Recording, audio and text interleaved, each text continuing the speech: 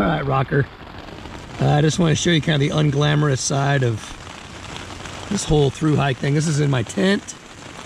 Uh, it is Monday, the 22nd of July, 5.36 p.m. I got here about an hour ago and uh, it had just started raining pretty hard. So I set up my tent. You can see I got a little water in here. Um, last night was the last night that my air mattress worked, so I threw it away. It got a little pinhole in it or something. So yeah, this is an early day. Um, it's only five, like, you know, 5.30 something. And as you can see, due to the weather, you can hear that thunder. We're at Lake Canopus in New York. And uh, yeah, we're just chilling in the tent. Um, there's a few other campers here as well.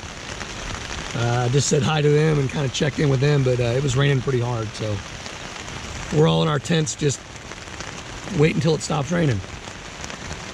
Uh, if I go to sleep, wake up, do it all over again.